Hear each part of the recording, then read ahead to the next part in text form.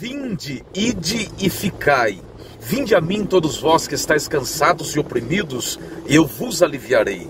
É um convite facultativo, ou seja, você pode ou não aceitar.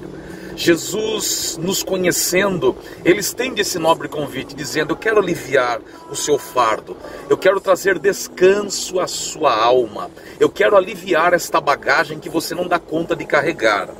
Mas existe o id, que é muito diferente do vinde. Ide e pregai o evangelho a toda criatura. É o imperativo. Nós não podemos escolher. É uma convocação. Temos a obrigatoriedade de lançar a semente, de compartilhar o evangelho de Cristo com os necessitados. Mas existe também o ficai.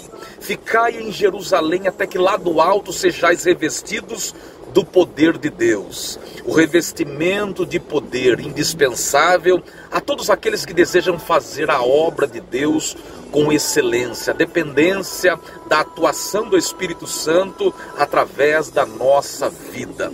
Entenda o momento de Deus na sua vida, entenda o momento do seu ministério e eu creio que você terá uma vida frutífera. Entenda esse momento. Ore a Deus que Ele vai te conduzir nas suas decisões. Até breve.